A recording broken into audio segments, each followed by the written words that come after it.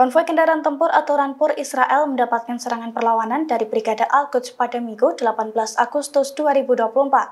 Saat melintas di Netzarim, kota Gaza, Ranpur yang membawa persenjataan pasukan pertahanan Israel atau IDF itu meledak karena terkena bom yang telah ditanam oleh Brigade Al-Quds sebelumnya. Dilansir dari tribunnews.com, insiden mematikan itu diumumkan langsung oleh Brigade Al-Quds dalam sebuah pernyataan.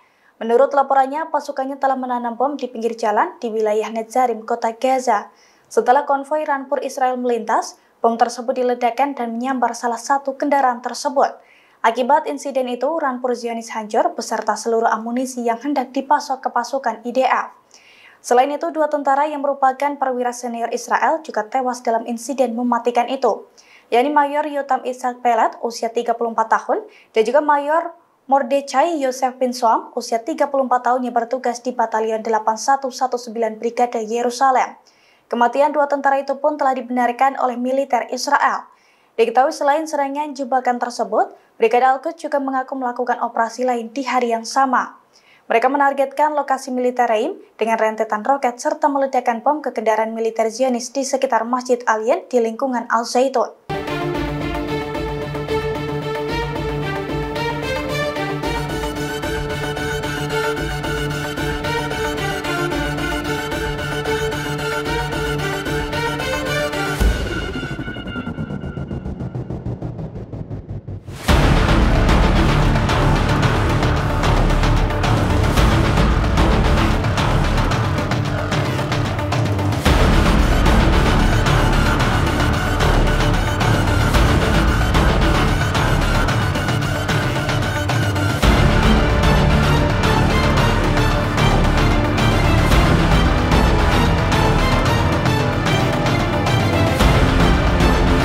Download Tribun X sekarang.